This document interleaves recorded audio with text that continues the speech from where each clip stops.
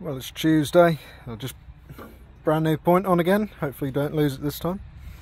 But changed them just in time. Roll pins were starting to give out, and these points, while they still had a little bit going them, because of how tight the land is, it was getting real hard going to pull it through. So I thought, let's get a new point on. Hopefully, she'll pull through more. But in theory, that is more metal contact with the soil, but it's sharper, it's fresher, should cut through better. Or at least that's that's my theory. See how it actually goes. It shouldn't be too far different I thought. Should be better at least. But yeah put these in the toolbox to be taken out at a later date. And off we go again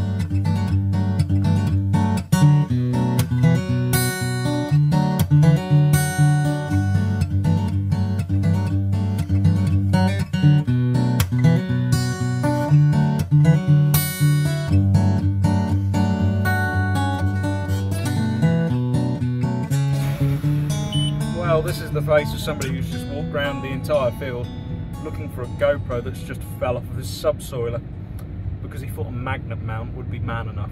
And to be fair, for the past year I've had it, the magnet mount has been fine, but just watching the footage, obviously it's just started to wiggle loose and then gone.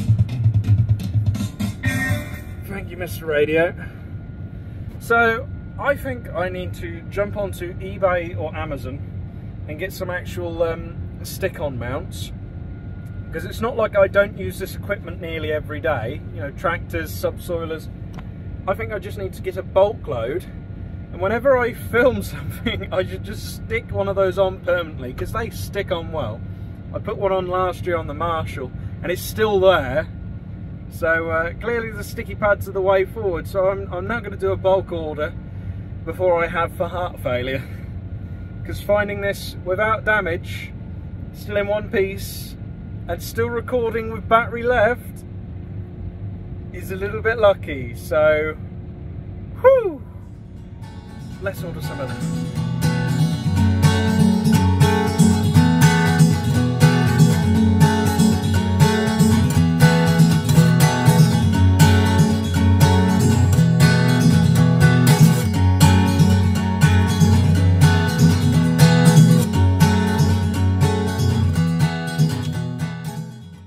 Right then, now that I've got some sticky pads ordered so I never lose the GoPro again.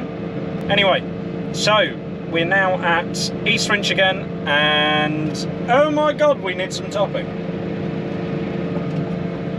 So we're back on the combo. Got the subsoiler on the back again. So uh,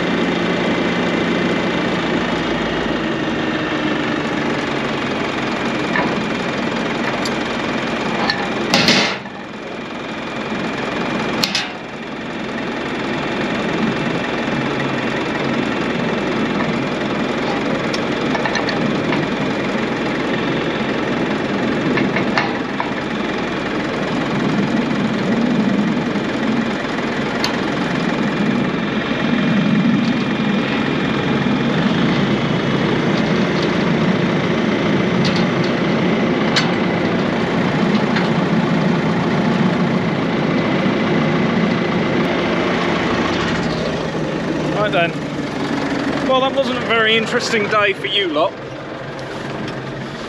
You know, you've seen me do that a few times now. But I really enjoyed it. Um, not really a lot to say either. Tomorrow, well, Wednesday's video, start filming tomorrow, um, is basically just me on the cart cutting the tulips back because John Boy's got a day off.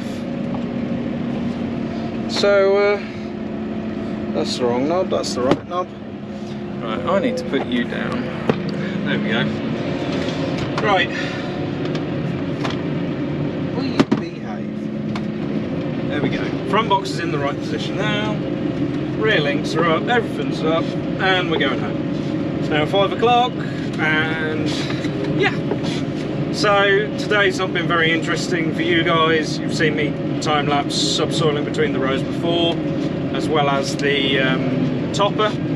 Uh, obviously a little bit out of practice, it's been a couple of weeks since we've used the topper, because uh, that was a little bit rough getting that going and started in line again. But uh, never mind, we're getting there. So uh, I've had a good couple of hours now, so I don't think tomorrow we're going to get moved here. I think it's going to be Thursday at the earliest before we're back here at Eastwinch because currently we're at the show field finishing that off. Show field's completely busted. That's all good. That's sorted. I ain't got to go back there with the subsoiler or the topper. Didn't need the topper to begin with because it was fairly clean. And um, yeah, there's not really a lot to say. But the dry conditions still have not improved. There's been a couple of light showers I've seen now and again, but I don't think it's actually making a difference on any of the soils. So we're just going to have to keep muddling through as we are. The yields are looking somewhat good, so I've been told. Some have gone absolutely fantastic, some have gone mediocre. So more of the natures of farming, really. So uh, yeah, not really anything else to report. Uh, apart from yesterday, I didn't bother filming it because it was a bit long-winded. I started doing the wiring.